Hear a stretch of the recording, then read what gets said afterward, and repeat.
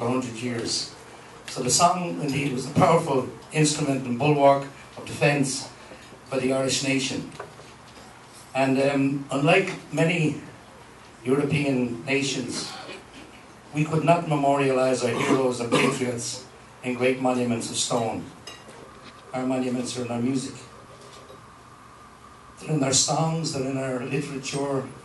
They could never be taken away from the Irish people, for they cost nothing except the lips of those who would sing and the ears of those who would listen. So our songs and our music indeed say a great deal about our country and our people, our political and social life over hundreds of years. And the wonderful thing about it is that it's a great source of historical information. And um, I say this um, many times. We were in Cambridge in England before we came over here, and I play it many times. I explain to people there's nothing in Irish song to take the break. that is directed at the people of England. It's directed at their army, the landlords, the politicians, but nothing indeed to the people uh, of England. And indeed, uh, given the facts of history over the last uh, six or eight hundred years, it's a remarkable uh, fact that most, indeed, of the songs and ballads are, are modern. And they say very little indeed in, in, an, in an ethnic uh, way. So tonight I want to remind you in this next song that is um, a song that pays tribute to our volunteers, the men who defi- defended our country, um, the men who defended indeed our traditions. Um, successive governments in London singing Irish tradition of music and indeed of language of no value. But many people in Ireland sought to, de- to defend those traditions of language, literature, and indeed music. And tonight I want to pay a tribute to those volunteers in this next song. And it's a ballad that I'm very proud to say I've sung all my life. And it's a ballad called The Boys of the Old Brigade. Yeah!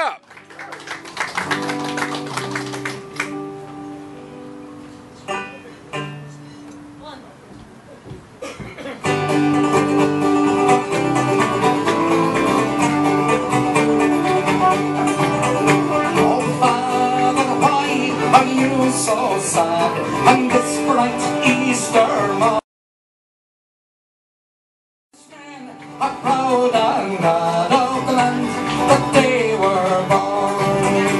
Oh, son, I see in memory true of far off distant days when being just a lad like you, I joined the IRA.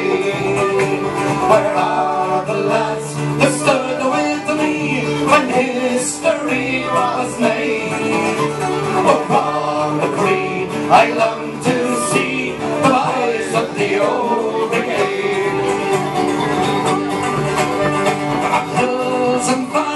the call to arms was heard by one and all. And from the glens came brave young men to answer Ireland's call. Was long ago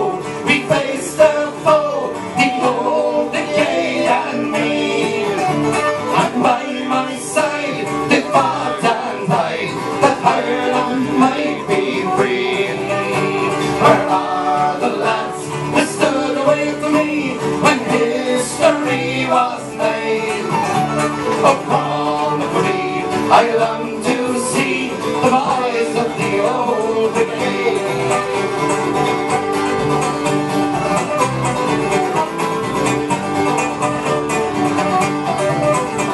And now, my boy, I told you, boy, on Easter morn I sang.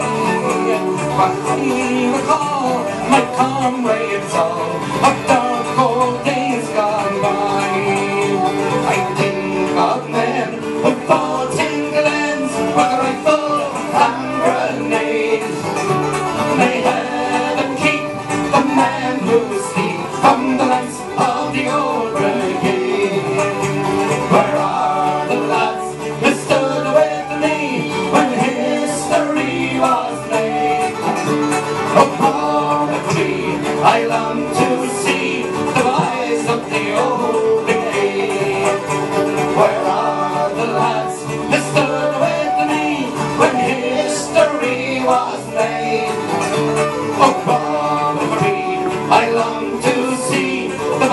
of the old brigade.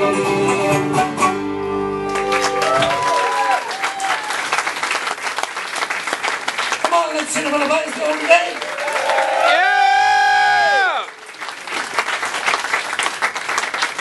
And thank you very much indeed. That's uh, a great song and a song that's close to my heart. It was written by a man from Belfast, Paddy McGuigan, and um, I've been singing, as I said, most of my life.